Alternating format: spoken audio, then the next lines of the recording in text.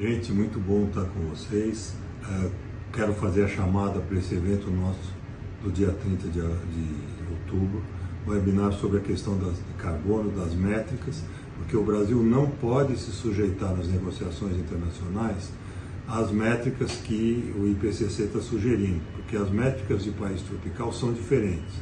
E vocês vão perceber no nosso webinar que, por exemplo, o caso do gado e da soja muda completamente se as métricas forem aplicadas de maneira correta. Então é necessário criar um fórum internacional e essa discussão é fundamental para as nossas exportações. Obrigado.